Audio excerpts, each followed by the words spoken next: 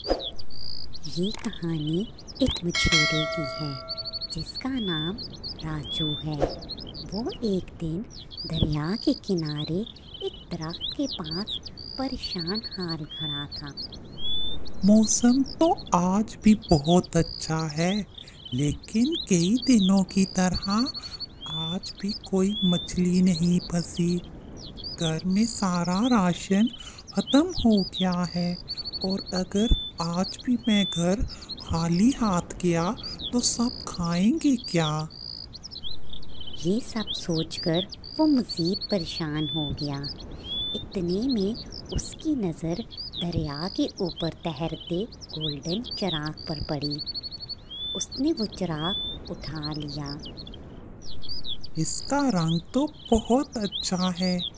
ये यकीनन किसी महाराजा का होगा।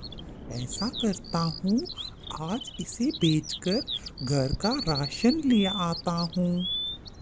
ये कहकर जैसे ही वो आगे बढ़ने लगा वो चिराग उसके हाथ से गिर गया और एक जिन बाहर निकल आया।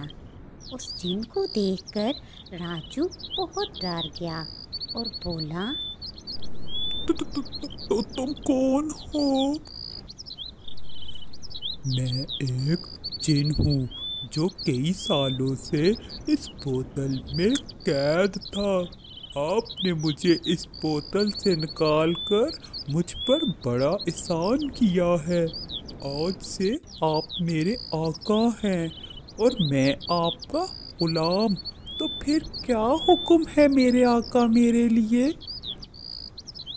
राजू, ये सब सुनकर बहुत खुश हुआ और फिर उस जिन का इम्तिहान लेने की गर्ज से बोला मैंने मछलियाँ पकड़ने की बहुत कोशिश की है लेकिन मैं एक भी मछली नहीं पकड़ सका।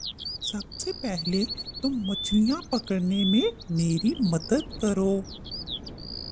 फिर उस जिन ने मछलियाँ पकड़ने में राजू की बहुत मदद की।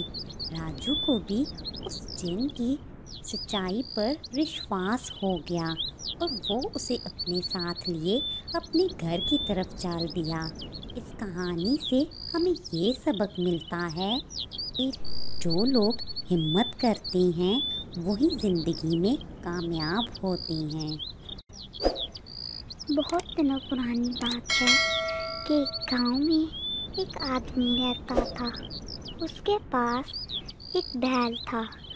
वो अपनी रोज़ी रोटी के लिए उसी बैल पर इन्हिसार करता था।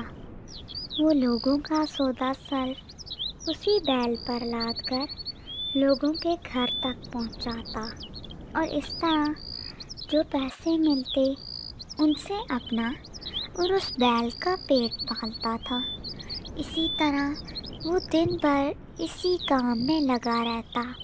वो बैल भी बचपन से उसके साथ काम कर रहा था। वक्त गुजरने के साथ साथ वो बैल भी आदमी की तरह बूढ़ा हो गया था। और अब उस बैल के शरीर में इतनी ताकत ना थी कि वो ज़्यादा सामान का बोझ उठा सके। एक दिन की बात है कि आदमी अपने बैल के साथ मामूल के मुताबिक अपने काम से जा रहा था कि अचानक चलते चलते बैल का पाँव फिसला और वो गड़े में जा गिरा। इस अचानक आफत से आदमी परेशान हो गया। आदमी ने बैल को गड़े से निकालने की बहुत कोशिश की, लेकिन नाकाम रहा। गाँव के बहुत से लोग जो वहाँ से गुज़रे, उन्होंने बहुत कोशिश की कि किसी तरह बैल को वहाँ से निकाल सकें, लेकिन कोई फ़ायदा ना हुआ। आखिरकार एक बूढ़ा आदमी बोला, इस बैल को इस गड़े से निकालना नामुमकिन है। ऐसे भी ये बूढ़ा हो गया है।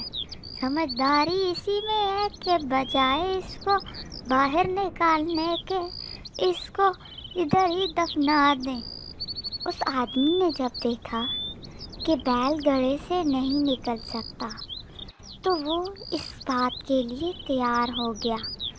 फिर सबने मिलकर उस गड्ढे में मिट्टी डालनी शुरू कर दी।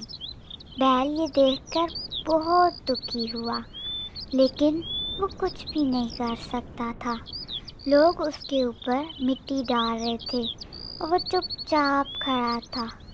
फिर अचानक उस बैल ने अपने शरीर से मिट्टी हटानी शुरू कर दी और फिर खुद उस मिट्टी के ऊपर चढ़ता गया और वो लगातार इसी तरह करता रहा। आदमी भी ये सब देखकर हैरान हुआ। इस तरह आहिस्ता आहिस्ता गड्ढे में मिट्टी भरती चली गई।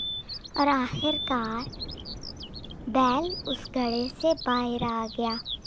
गाँव वाले भी बैल की चलाकी पर हैरान रह गए और उस आदमी की आँखें भी नम हो गईं।